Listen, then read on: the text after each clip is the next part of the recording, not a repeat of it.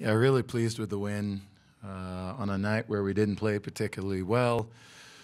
The fact that we can still be resilient enough to um, find ways to deal with what was uh, a very kind of high-powered attack tonight. I thought Dallas really gave us some some issues, especially early on. Uh, to deal with that, and on an, as I said on that when we didn't play particularly well, uh, to really be resilient and find ways to score goals and um, obviously work really hard defensively and come out with a clean sheet. With all that, I'm I'm really pleased. I'll start off with Connor Gabe, Altitude Sports Radio. Robin, you're four, two, and one, and currently fourth place in the Western Conference, heading into this uh, this long international break. And you get a 3-0 win and a clean sheet heading into it. What does a game like tonight do to you, do for your team, the mentality, confidence, attitude, and just the day to day in the next three weeks leading up to the Cincinnati game? Yeah, it's a good question. Uh, these games are so important because you spend three weeks thinking about your loss, or you spend three weeks feeling good about your win. Uh, it's really important, I think, for our confidence, um, given how things have gone for us so far. We've had some good performances, some not so good performances, and I think recently, probably our last five performances have been pretty decent. Our last four, at least, have been pretty decent. To cap it off with a 3-0 win at home, uh, I think it takes it takes us into the break with a fair amount of confidence. Go to Matt Pollard. Last word on soccer. Hi, Robin. Thanks for the time. Congrats on the win. You mentioned Thank the you. game plan not necessarily going the way that you wanted to. What didn't work out, and then ultimately, how did the team adjust to get the result that they did? Uh, we just weren't good with the ball in the first half. We didn't keep possession enough, and our turnovers led to counterattacks and dangerous counterattacks from Dallas. And uh, it's not typical of our of our team. When we play well, we do a decent job of keeping the ball.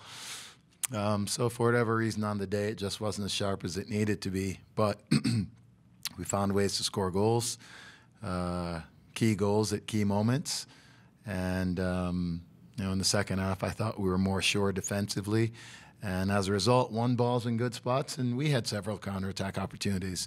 Um, so it was uh, one of those games where initially it just we weren't quite as good as we needed to be, um, but we still found a way. We'll turn to Chase Howell, Denver Post.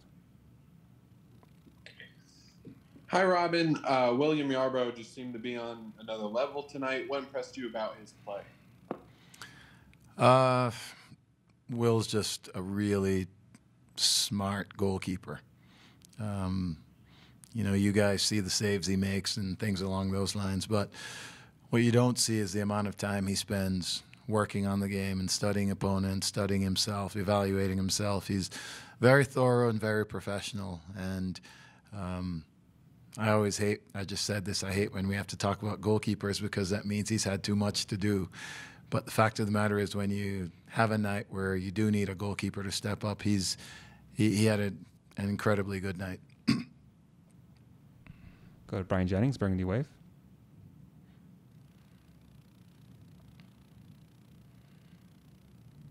Thanks again, Robin. Hey, uh, kind of wanted to. We touched earlier on the week about you know this this being the next man up type of a scenario with a couple guys out. How, how'd you feel the guys um, who who did step up? How how they do? Look like they really started getting involved, and guys were having fun out there.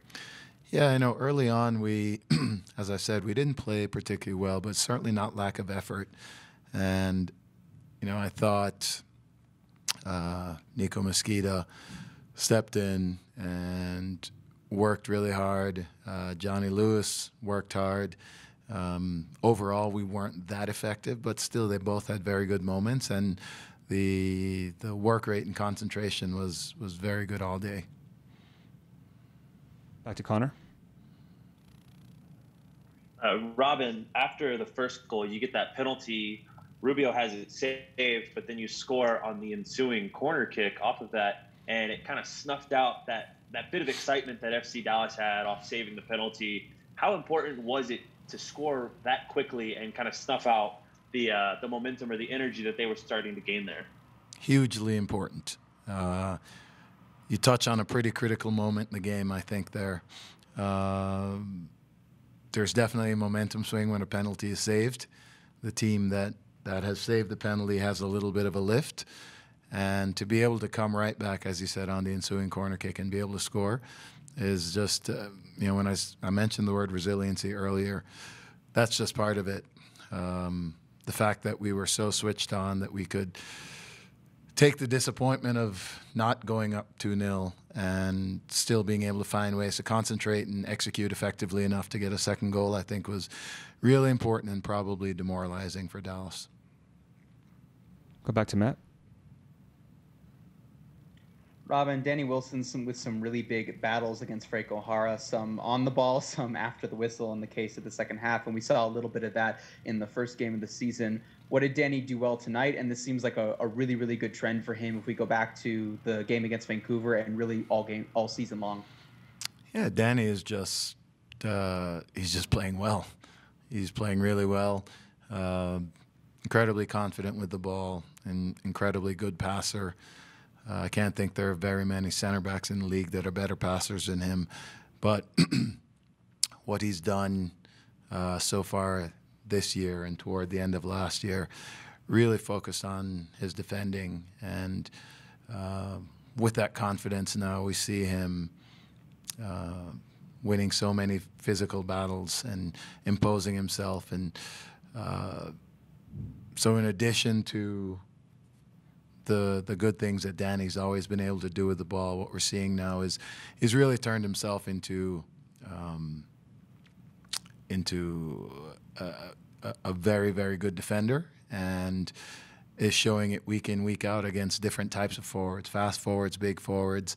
Uh, he's had to deal with a lot of different things so far this year, and he's he's adapting really well.